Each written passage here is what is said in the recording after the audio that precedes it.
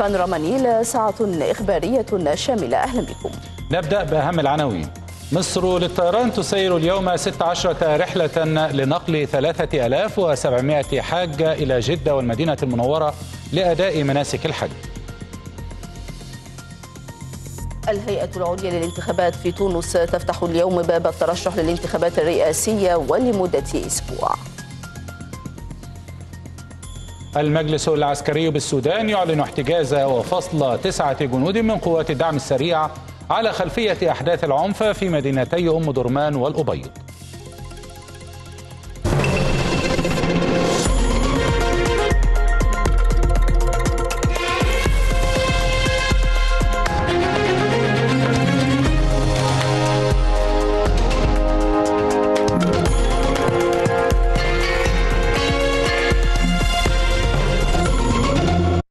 تفاصيل الأنباء من قناة النيل. أهلا بكم. أكد الرئيس عبد الفتاح السيسي دعم مصر الكامل للجهود الرامية للتوصل إلى حل عادل وشامل للقضية الفلسطينية. وخلال استقباله جاري كوشنر كبير مستشاري الرئيس الأمريكي أكد الرئيس السيسي قوة ومتانه العلاقات الاستراتيجية الراسخة التي تربط بين مصر والولايات المتحدة مشيرا إلى الحرص على مواصلة الارتقاء بها في كافة المجالات.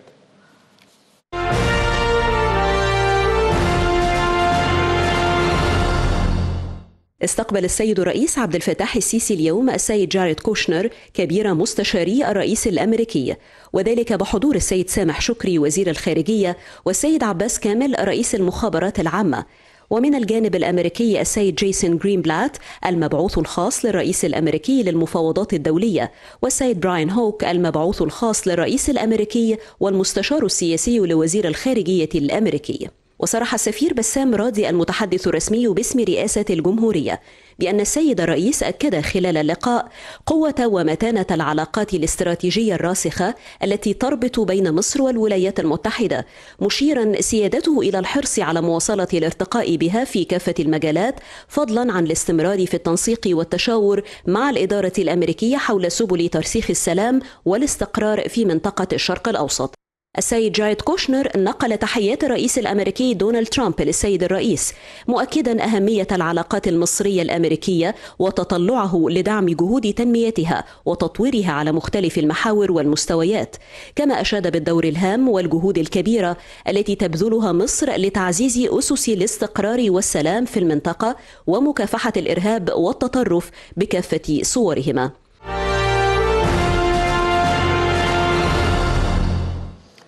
شدد رئيس الوزراء مصطفى مدبولي على ضرورة البدء في تنفيذ توصيات المؤتمر الوطني السابع للشباب وبحث جميع التوصيات الصادرة من حكومة نموذج المحاكاة ومناقشة تنفيذ ما ورد من خلال هذا المؤتمر.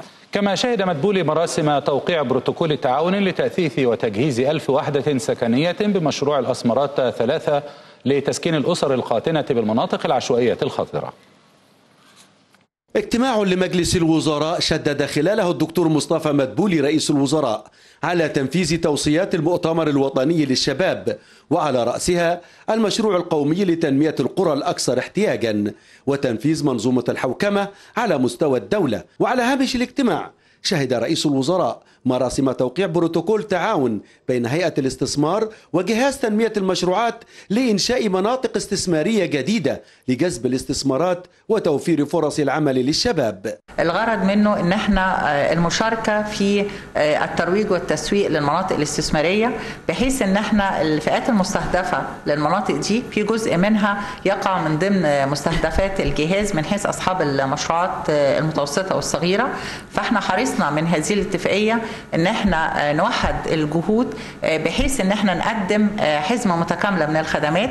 بداية بتبتدي بالخدمات اللي ممكن ياخدوها من خدمات المستثمرين المتاحة من خلال مكاتب الهيئة العامة للاستثمار. أول مرة الهيئة العامة للاستثمار بتقوم بدور مطور للمناطق الاستثمارية.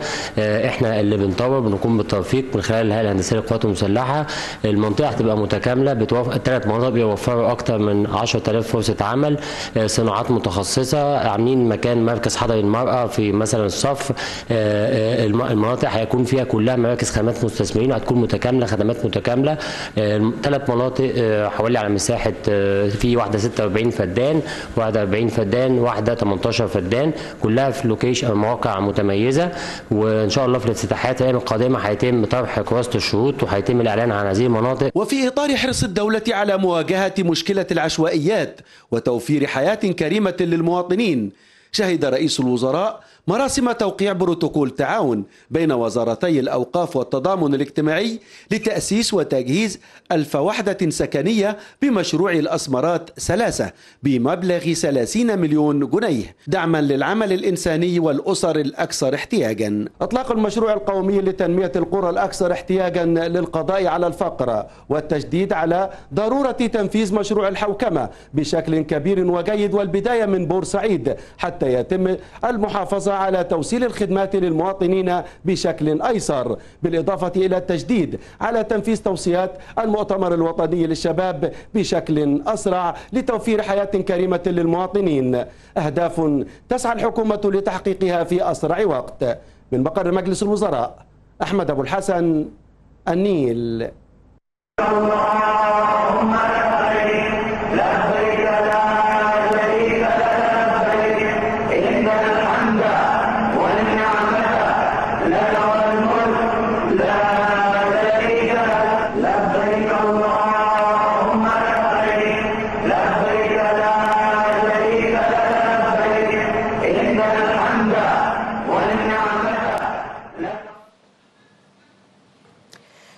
شركة مصر للطيران تسير 16 رحلة جوية إلى كل من جدة والمدينة المنورة لنقل 3700 حاج إلى الأراضي المقدسة لأداء مناسك الحج. وتسير الشركة سبع رحلات إلى جدة لنقل 1500 حاج وتسع رحلات إلى المدينة المنورة لنقل 2200 حاج من حجاج تضامن قنا وسوهاج والأقصر. وتسير مصر للطيران خلال موسم الحج ل 350 رحلة لنقل 76 ألف حاج وستكون آخر الرحلات خلال مرحلة ذهاب الحجاج يوم الخامس من أغسطس الجاري. تقف السيارة أمام أحد الفنادق المحيطة بالمسجد الحرام ليخرج منها ضباط قطاع الخدمات الطبية بوزارة الداخلية ومعهم ضابطات بعثة حج القرعة. قاصدين اصطحاب حاج مصري يعاني فشلا كلويا من غرفته. كما توجهوا إلى آخرين يعانون من ذات المرض بفنادق متفرقة للذهاب بهم إلى مستشفيات مكة بهدف إجراء عمليات غسيل كلوي لهم في ظل متابعة دقيقة ومستمرة لحالات الحجاج المرضى والحرص على انتظام علاجهم. في اهتمام كامل يعني ما فيش أي تقصير صراحة يعني. مش مجاملة لحد إحنا في حج الحج ما فيش مجاملة يعني. صراحة هنا في فندق إن كان في المدينة أو مكة اهتمام بعد كده مفيش ورعاية بصراحة وما سابونيش. ضباط قطاع الخدمات الطبية بوزارة الداخلية المصاحبين لبعثة حج القرعة يتولوا عملية التنسيق مع المستشفيات السعودية من أجل إنهاء الإجراءات اللازمة لعلاج المرضى كما يقوم بالمرور الدائم على الفنادق لمتابعة الحالات الصحية للحجاج المصريين بالتنسيق مع البعثة الطبية المصرية. في طقم كامل موجود في المدينة لمتابعة الحالات في مستشفيات المدينة وطقم موجود هنا زيه بالظبط. بتبدأ المتابعة من ساعة لما بيوصل بناخد الورق والتحاليل نحجز له في المستشفيات ونحدد مواعيده وبعد كده بنصطحبه من الفندق لغاية لغاية المكان اللي بيغسل فيه. بنتابع الحاجات دي مع كل الفنادق وبنبتدي نتوجه لفندق فندق عشان الحالات زي ما شفت حضرتك النهارده كده اللي بنوديها المستشفيات. عندهم غسيل كلوي وفي ناس بيبقى عندهم جلسات كي كيماوي وفي ناس بتبقى محتاجة بقى هي الحوادث العادية حد وقع على رجله حد محتاج يعمل سكان حد محتاج يعمل أشعة. المرضى من الحجاج من من يتلقون العلاج بالمستشفيات السعودية كانوا مقصدا لزيارة الرئيس التنفيذي لبعثة الحج المصرية. للاطمئنان عليهم في ظل ما توفره السلطات السعودية من رعاية فائقة لهم. النهارده إحنا اصطحبنا معانا أربع حالات اللي هو عليهم الدور في الغسيل الكلوي بالإضافة لجينا زرنا المرضى اللي موجودين هنا من من المنومين في المستشفى وهو حالتهم الحمد لله مطمئنة. والحقيقة الجانب السعودي والمستشفى هنا مش مقصرة أبدا وبتقدم كل رعاية طبية ليهم. ولدى بعثة الحج المصرية بيانات كاملة عن الحالة الصحية للحجاج من خلال البطاقة الصحية المقدمة منهم قبل سفرهم لأداء المناسك وبالتالي تسهل تقديم الرعاية اللازمة لهم. لا تقتصر الخدمات التي تقدمها بعثة حجاج القرعة لحجاجها على خدمات الإعاشة والإقامة والانتقال فقط بل تمتد إلى تقديم خدمة طبية مميزة عن طريق البعثة الطبية لوزارة الداخلية والمصاحبة لها والتي تتولى متابعة الحالة الصحية للحجيج. من مكة المكرمة عبد الله بركات للتلفزيون المصري. يعبر قناة السويس اليوم أكبر عدد سفن في تاريخ القناة وذلك أكبر حمولة يتم تسجيلها منذ إنشاء القناة وذلك بحضور الفريق مهاب مميش رئيس هيئة قناة السويس. وقال الفريق مهاب مميش إن ما تشهده القناة حاليا من زيادة كبيرة في أعداد وحمولات وعائدات القناة. تؤكد الرؤية السليمة للرئيس عبد الفتاح السيسي الذي ساند إدارة هيئة القناة في جميع مشاريعها لتطوير العمل بها.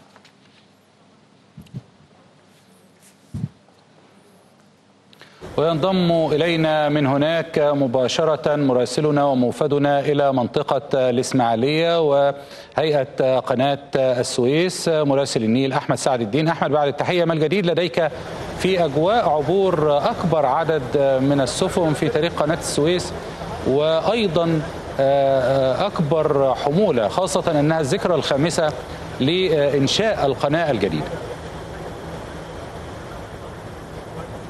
التحية لك أيمن والتحية لكل المشاهدين. بالفعل معكم الآن من قلب قناة السويس وهذه التفريعة الجديدة لقناة السويس اليوم يسجل عبور أكثر من يعني حوالي 81 سفينة في هذا اليوم وهي أكبر نسبة يعني تسجل أكبر نسبة لمرور سفن في قناة السويس هذا المشروع القومي الذي تم تنفيذه وأعطى شهرة البدء في تنفيذه السيد الرئيس عبد الفتاح السيسي في الرابع من أغسطس عام 2014 وتم تنفيذ هذا المشروع في خلال سنة بدل من ثلاث سنوات وتم افتتاحه في 2015 هذه هي الذكرى الرابعة لافتتاح محور قناة السويس الجديدة. هذه ليتم إنشاء مجرى ملاحي بطول 37 كيلو مترا يتيح للسفن العملاقة. كما ترون معي في الصورة يعني بالمرور في وقت واحد في محور قناة السويس ليتم توسعة أيضا المجرى الملاحي بطول 72 كيلو مترا في منطقة البلاح تفرعات البحيرات المرة. ليكون هذا هذا المكان وهذه القناة تستوعب جيلا جديدا من السفن العملاقة التي يصل غاطسها إلى 66 قدم بدل من 45 قدم مما يجعل قناة السويس أكثر قدرة على التنافسية وأكثر قدرة على الاحتفاظ بصدارتها في العالم. قناة السويس الجديدة هي شريان العالم التي تربط بين قارة آسيا وأفريقيا ومتنفس للتجارة العالمية ليتم من خلالها توصيل الغذاء والوقود ومختلف البضائع إلى جميع أنحاء العالم بطريقة أيسر وأسرع وأكثر أمانا. قناة السويس الجديدة هذه القناة لم يقتصر هذا الإنجاز لم يقتصر على هذا الإنجاز ولكن هناك رؤية حتمية للتوسع في مشروع تنمية محور قناة السويس. هذا المشروع اللوجستي يجعل من المنطقة الاقتصادية لمحور قناة السويس ثمرة ونواة لمشروعات عملاقة ويجعل المنطقة الاقتصادية في ضمن الصدارة العالمية لهذه المنطقة.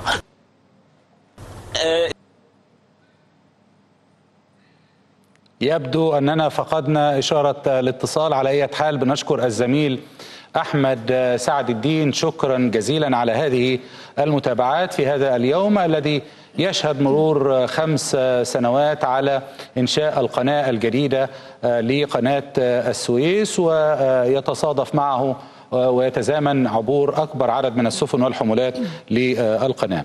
نواصل تقديم أنباء البانوراما حيث أعلنت الهيئة العليا المستقلة للانتخابات في تونس عن فتح باب الترشح للانتخابات الرئاسية المبكرة المقرر إجراؤها منتصف سبتمبر المقبل.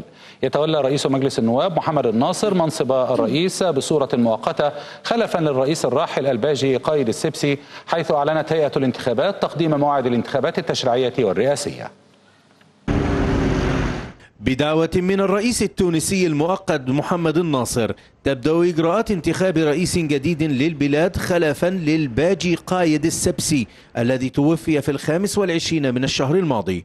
وإثر وفاة السبسي قررت هيئة الانتخابات تقديم موعد الانتخابات الرئاسية إلى منتصف سبتمبر وخصصت الفترة من الثاني وإلى التاسع من أغسطس الجاري موعدا لتقديم الترشيحات على أن تنطلق الحملات الانتخابية في الثاني من سبتمبر وحتى الثالث عشر من الشهر ذاته. ويعد رئيس الوزراء الحالي يوسف الشاهد أبرز المتنافسين على منصب الرئاسة لكنه قال إن موقفه النهائي من الترشح سيعلنه في الأيام المقبلة وذلك رغم إعلان حزب تحيا تونس عن ترشيحه للشاهد لانتخابات الرئاسة. ماهوش بالسهل هذا تكوين حزب وخوض انتخابات عملية معقدة. نعم. ولكن ما زال الحزب وماناش نبنيو في حزب إحنا على فترة قصيرة نحبوا وفما أخطاء وفما أخطاء وتم ارتكاب أخطاء ما نقولش لا أنا. ولكن أعتقد معناه إذا اليوم ما كانش موجود في المشهد تحيا تونس رانا في مشهد مفزع أكثر من مشهد.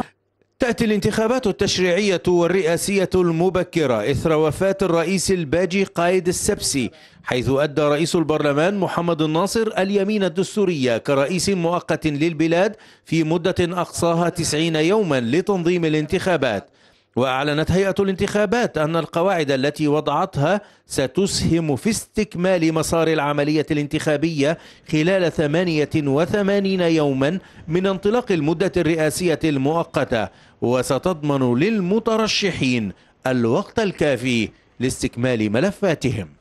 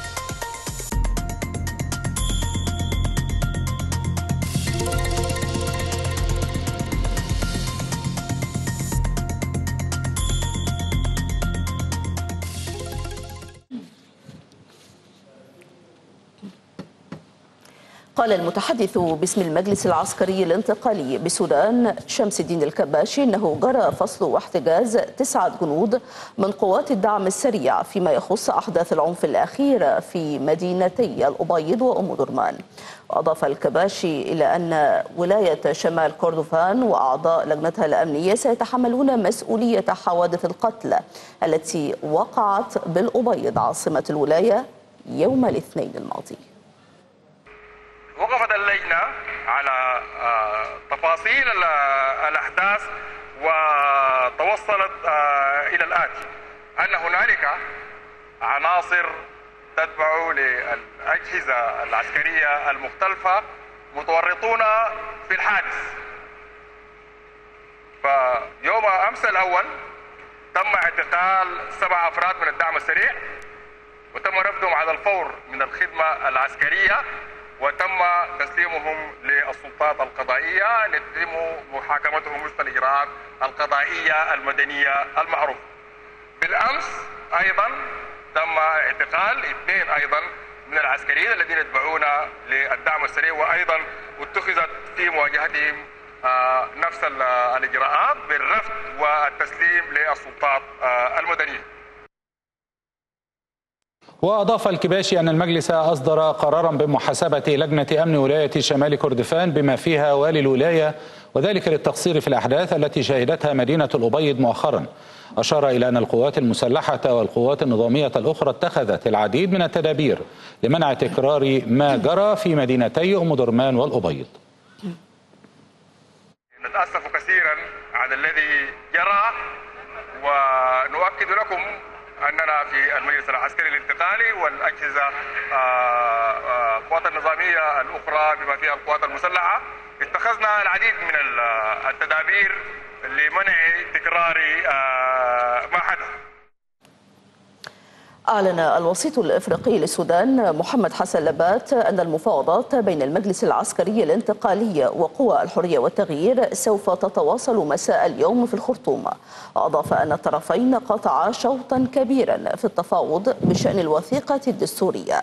من جانبهم قال قياديون في الحرية والتغيير إن الحركة والمجلس العسكري توصلا إلى توافق تام بشأن غالبية بنود الوثيقة مشيرين إلى يوم غد السبت قد يشهد استكمال الاتفاق مع المجلس الانتقالي بشأن هذه الوثيقة.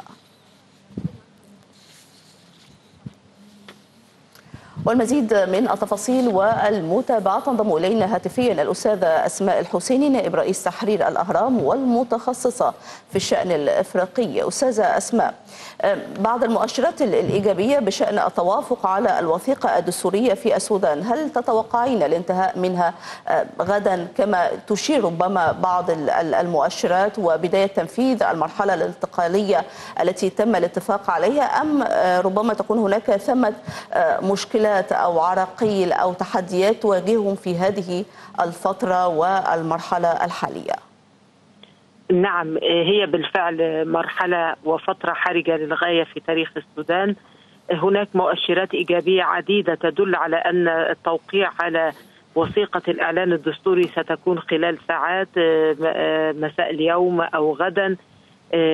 كل الأطراف الآن باتت تدرك أن التأخير يؤدي إلى تردي الأوضاع في السودان وأن هناك من يريدون عرقلة هذا الاتفاق بأي ثمن.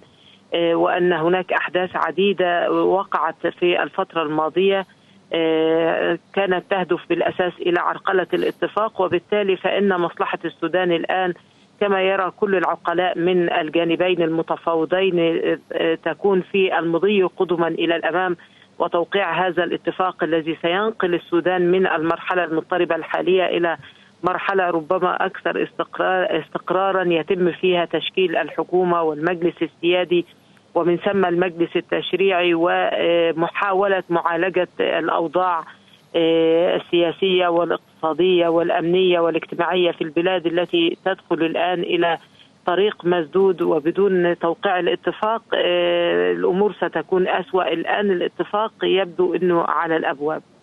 أشكرك جزيل الشكر أستاذة أسماء الحسيني نائب رئيس تحرير الأهرام والمتخصصة في الشأن الإفريقي قتل اليوم 19 جنديا يمنيا في هجوم شنه مسلحون تابعون لتنظيم القاعدة الإرهابية على معسكر للقوات اليمنية في محافظة أبين الواقعة جنوب شرقي العاصمة صنعاء. تمكن الجيش اليمني من إحباط محاولة لتنظيم القاعدة للسيطرة على معسكر المحفد الحكومي بمحافظة أبين.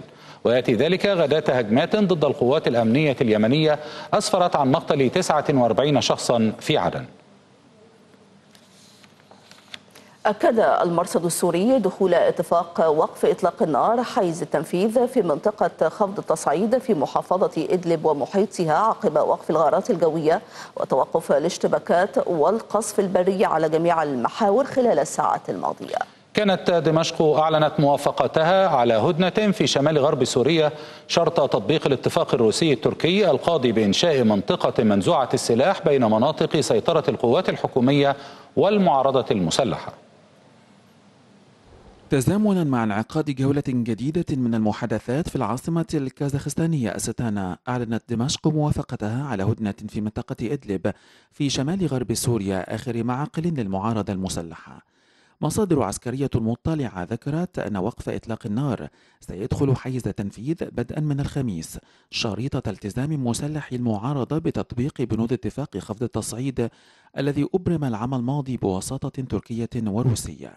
روسيا بدورها وعلى لسان مفادها الخاص إلى سوريا.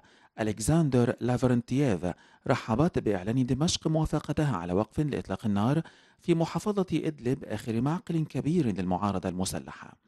ويتزامن إعلان دمشق الموافقة على الهدنة مع انعقاد الجولة الثالثة عشر للمحادثات السورية في عاصمة كازاخستان التي ترعاها روسيا.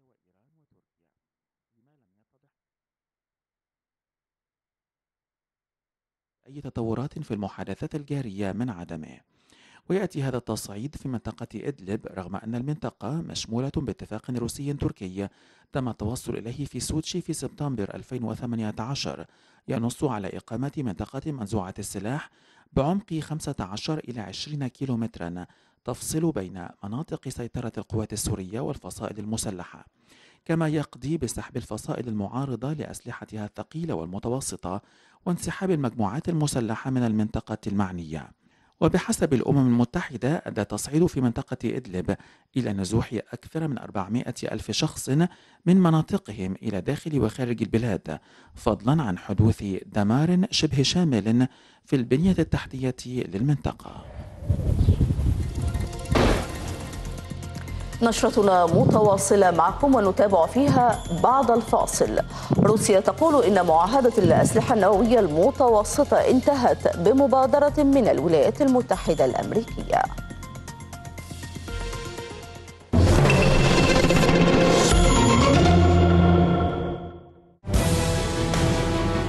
بحضراتكم مشاهدينا الكرام أولى حلقات برنامجنا جيل المستقبل.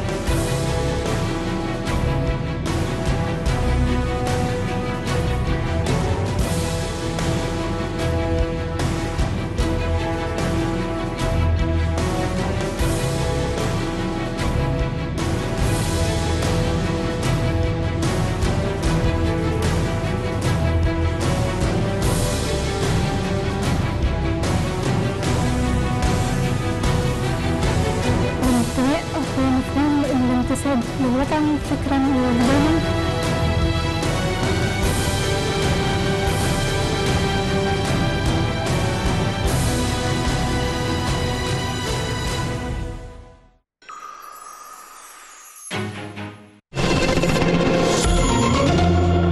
موعدنا الآن مع الأنباء الاقتصادية في هذه البانوراما. مع الزميل محمد سليمان. إليك يا محمد. أشكرك أمل وشكرا لك أيمن. أهلا بحضراتكم أخبار اقتصادية في بانوراما منتصف اليوم ونتابع فيها. المركزي المصري يعلن تدريب أكثر من 100 مصرفي إفريقي في إطار تعزيز كافة أوجه التعاون مع القارة السمراء.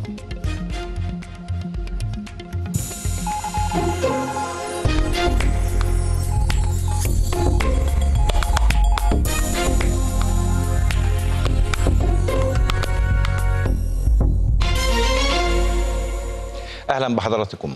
قال محافظ البنك المركزي طارق عامر إن أكثر من 100 مصرفي إفريقي ممثلين العشرين دولة تلقوا تدريبات بالمعهد المصرفي مؤكدا عزم المعهد مواصلة مبادرة تدريب الكوادر الفنية للبنوك المركزية والتجارية الإفريقية تأتي المبادرة في إطار توجيهات الرئيس عبد الفتاح السيسي بتعزيز كافة أوجه التعاون مع الدول الإفريقية خاصة في المجال الاقتصادي وذلك بالتزامن مع تولي مصر رئاسة الاتحاد الإفريقي.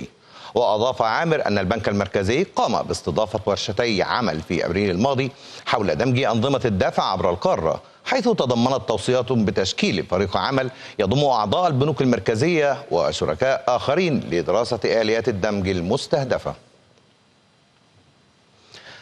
قالت رئيس التنفيذي لجهاز المشروعات الصغيرة والمتوسطة نيفين جامع إن خطط الجهاز في توزيع موارده خلال الفترة المقبلة ستعتمد على خريطة الفقر الحديثة التي أعدها جهاز الإحصاء ضمن نتائج بحث الدخل والإنفاق والاستهلاك العام لعام لعامي 2017-2018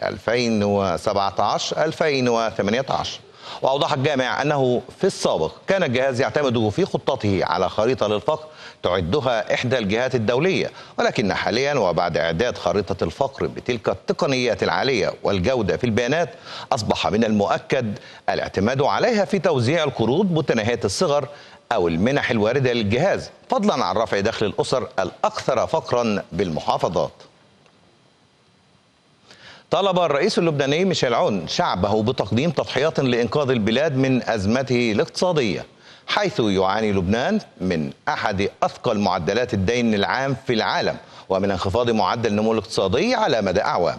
واعتمدت الحكومة اللبنانية موازنة لعام 2019 تهدف لخفض العجز كنسبة مئوية من الناتج المحلي وشملت الميزانية إجراءات مثل تجميد التعيين الحكومي لمدة ثلاثة أعوام بالإضافة إلى زيادة الضرائب على فائدة الودائع المصرفية والسندات الحكومية وضريبة جديدة على الواردات وخطة لخفض تكاليف خدمة الدين. أظهر مسح اقتصادي أن نشاط قطاع الصناعات التحويلية في تركيا انكمش في يوليو للشهر السادس على التو... السادس عشر على التوالي. وهبط مؤشر مدير المشتريات لقطاع التصنيع إلى 46 و7 من عشرة نقطة في يوليو من 47 و9 من عشرة نقطة في يونيو. موصلا التراجع عن مستوى ال 50 نقطة التي تفصل بين النمو والانكماش. وأظهر المسح الاقتصادي أن إجمالية الطلبيات الجديدة واصل التراجع وسط أوضاع صعبة في السوق لكن صورة إيجابية نسبيا للصادرات شجعت بعض المصنعين على زيادة الإنتاج. أظهر مسح اقتصادي أن نشاط قطاع الصناعات التحويلية في منطقة اليورو انكمش الشهر الماضي بأسرع وتيرة منذ أواخر 2012 متضررا من هبوط الطلب. وبلغت القراءة النهائية لمؤشر مدير المشتريات بالقطاع الذي تصدره IHS Markit 46 ونصف نقطة. وهذا الشهر هو السادس على التوالي الذي يظل فيه المؤشر دون مستوى الخمسين نقطة الفاصلة بين النمو والانكماش. وهبطت الطلبيات الجديدة للتاسع شهر على التوالي وخفضت المصانع عدد العاملين لثلاثة أشهر متتالية. هذا وألقت الحرب التجارية بين واشنطن وبكين بظلالها على الأسواق العالمية اليوم حيث خسرت مؤشرات الأسهم الأوروبية اليوم ما يصل إلى 2% وانخفض المؤشر ستوكس 600 للأسهم الأوروبية بنسبة 1.6% مع هبوط مؤشر قطاع المواد الأساسية بنسبة 4.3% يليه مؤشر قطاعي السيارات والتكنولوجيا اللذين خسر أكثر من 2.5% لكل منهما. وانخفض المؤشر داكس الألماني الذي يعتبر في الغالب من بين الأسواق الأكثر تأثرا بالتجارة بنسبة 2% ونزل المؤشر كاك 40 الفرنسي بنسبة مماثلة. التراجع طال كذلك أسواق المعادن النفيسة حيث تراجعت أسعار الذهب نحو 1% مع إقبال المستثمرين على جني الأرباح. وهبطت أسعار الذهب في المعاملات الفورية بنسبة 8 من 10% ليصل إلى 1433 و63 من 100 دولار للأوقية. ومن بين المعادن النفيسة الأخرى قفز البلاديوم بنسبة 1.2 من 10% مسجلا نحو 1441 و36 من 100 دولار للأوقية. كما ارتفع البلاتين بنسبة 5 من 10% ليصل إلى 853 وواحد من 100 دولار للأوقية. بينما انخفضت الفضة بنسبة 8 من 10% لتصل إلى 16 و19 من 100 دولار للأوقية. في المقابل ارتفعت أسعار النفط بنحو 2% اليوم للتعافي وذلك بعد تكبدها أكبر خسائرها في سنوات مع فرض الرئيس الأمريكي دونالد ترامب مزيدا من الرسوم الجمركية على الواردات الصينية. وارتفعت عقود برنت بنحو 21 من 100 دولار ليصل إلى 61 و71 من 100 دولار للبرميل كما زادت عقود الخام الأمريكي 67 سنت مسجلة نحو 54 و82 من 100 دولار للبرميل.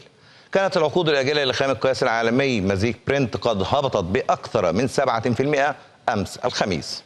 كما نزل خام غرب تكساس الوسيط الأمريكي في العقود الآجلة بنحو 8% مسجلا أسوأ أداء يومي في أكثر من أربع سنوات. يأتي هذا في حين أدى التهديد الأمريكي بفرض رسوم جديدة على الواردات الصينية إلى صعود الين إلى صعود الين الياباني الذي يعتبر من الملاذات الآمنة ليصل إلى أعلى مستوياته في خمسة أسابيع أمام الدولار. وارتفع الين بنسبة 4 من 10% ليصل إلى 106 و95 من 100 ين للدولار. وفي أحدث المعاملات زاد الين بنسبة 6 من 10% أمام العملة البريطانية ليصل إلى 129 و61 من 100 ين الاسترليني. في حين استقرت العملة البريطانية دون تغير يذكر عند 1 و21 من 100 دولار وعند 91 و48 من 100 بنس لليورو. كما لم يطرأ تغير يذكر على اليورو ليستقر عند 1 و11 من 100 للدولار.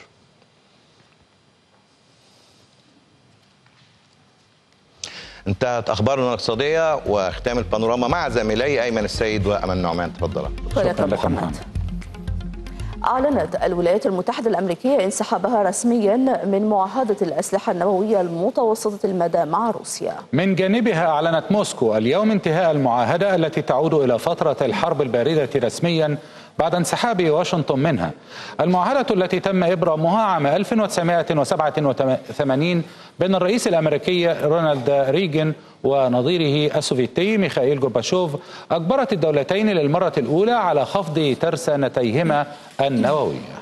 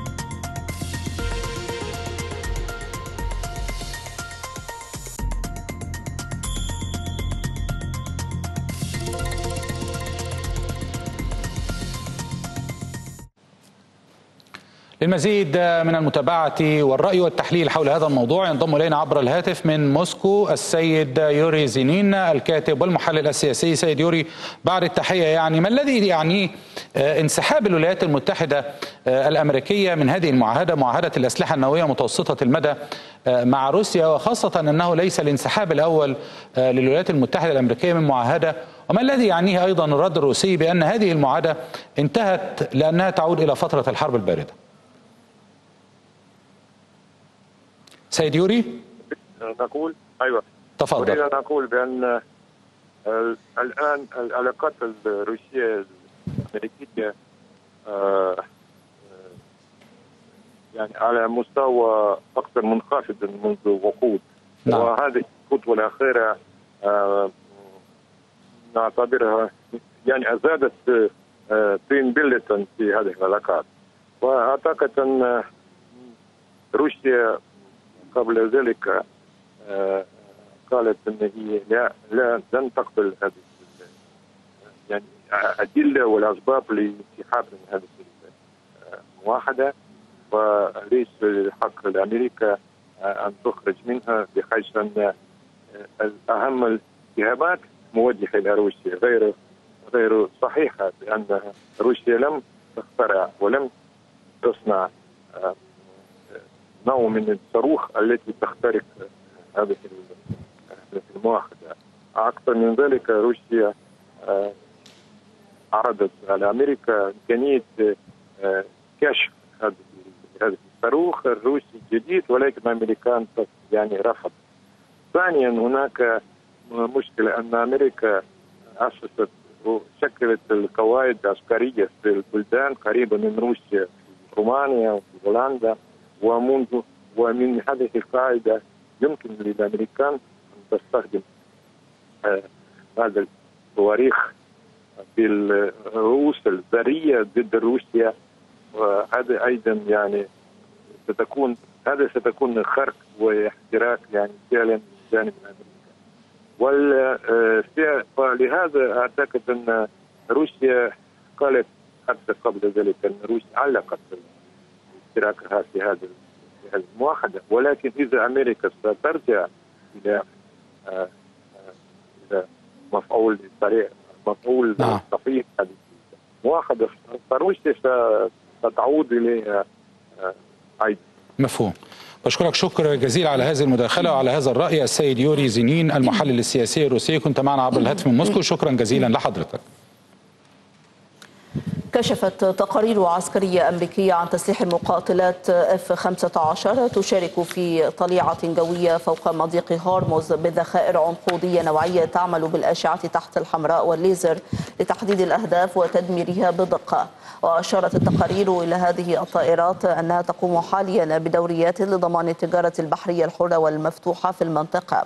وأضافت أن مثل هذه الأسلحة قد تكون مفيدة لضرب قوارب صغيرة تشتبه تلك أو تشبه تلك التي يستخدمها الحرس الثوري الإيراني. قال وزير الخارجية الأمريكي مايك بومبيو أن الولايات المتحدة ستستمر في تطبيق العقوبات على إيران وتأتي تصريحات بومبيو بعد إعلان واشنطن عقوبات على وزير الخارجية الإيراني محمد جواد ظريف وقالت الخزانة الأمريكية أن العقوبات تشمل تجميد أي أصول لظريف بالولايات المتحدة أو تلك التي تسيطر عليها كيانات أمريكية. من جانبها قالت طهران أن فرض عقوبات على ظريف يظهر عجز الولايات المتحدة الأمريكية. تعهدت الأمم المتحدة والحكومة العراقية أنهما ستساعدان في ترميم قلعة كركوك العراقية التي يعود تاريخها إلى عام 3500 قبل الميلاد. تعد هذه القلعة أقدم جزء من مدينة كركوك حيث كانت ذات يوم تعتبر مدينة داخل مدينة بالإضافة إلى كونها قلب الهوية الثقافية لكركوك. تؤدي هذه البوابة القديمة إلى أطلال تعد أقدم جزء من مدينة كركوك العراقية حيث كانت هذه القلعة ذات يوم مدينة داخل مدينة وكانت قلب الهوية الثقافية لكركوك. البيوت العثمانية القديمة كانت بداخلها بينما أصبحت الآن مليئة بالرسوم الجدارية وموطنا لمدارس وحمامات عامة. تاريخ قلعة كركوك هو تاريخ هذه المدينة التي شهدت جميع الأحداث والمراحل. يمكننا القول إنها كانت مكانا مهما دائما لأن القلعة كانت مركزا سكنيا وإداريا وعسكريا في كل الأوقات. القلعة تحتوي على العديد من المقابر وأيضا ما يعتقد أنه مقام وقبر النبي دانيال حيث بنيت على تل اصطناعي بارتفاع 130 قدما. ويعتقد البعض أنها بنيت على يد الملك السومري أشور ناصر بال الثاني بين 884 و 858 قبل الميلاد. والذي بناها كخط دفاع عسكري في كركوك. لكن هناك مؤرخين يرشحون أن تاريخ القلعة يعود إلى سلالة جوتي في سومر التي تولت الحكم في البلاد ما بين النهرين في الفترة ما بين 2135 إلى 2055 قبل الميلاد. وفقا لكل الأدلة والطبقات التاريخية التي تم العثور عليها في القلعة. يمكننا تحديد أقدم تاريخ للقلعة حتى عام 3500 قبل الميلاد. والآن وبعد مرور كل هذه السنوات تعاني القلعة الآن خطر الانهيار وتعهدت الأمم المتحدة والحكومة العراقية أنهما ستساعدان في ترميم الموقع الذي يعود تاريخه إلى عام 3500 قبل الميلاد. نشرتنا متواصلة معكم ونتابع فيها بعد الفاصل. مدينة نيويورك الأمريكية تستضيف عرض أزياء للقطط تحت شعار إنه عالم صغير. استضافت أحد الفنادق الكبرى بمدينة نيويورك الأمريكية عرض أزياء للقطط السنوي تحت شعار إنه عالم صغير. شارك في العرض الذي يهدف إلى رفع الوعي بالرفق بالحيوانات وتربيتهم قطط من العديد من الدول مثل أيرلندا وإسبانيا وبريطانيا والولايات المتحدة الأمريكية. وطغت على مراسم العرض روح الفكاهة والإبداع في تصاميم الملابس المتميزة التي تزينت بها هذه الخطط